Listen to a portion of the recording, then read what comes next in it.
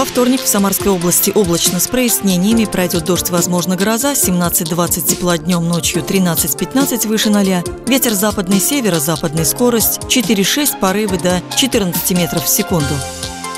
В Сызрани облака, осадки в виде дождя, днем плюс 20 ночью 13 выше 0, северо-западный ветер, скорость 6 метров в секунду.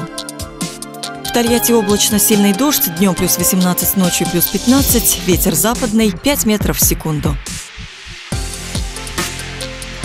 В Самаре малооблачно, небольшой дождь, гроза, плюс 19 в дневное время, ночью плюс 13, ветер западный 6 метров в секунду, атмосферное давление пониженное 740 миллиметров ртутного столба. Влажность воздуха 67%, геомагнитное поле относительно спокойное, температура воды в реке Волга 15 градусов.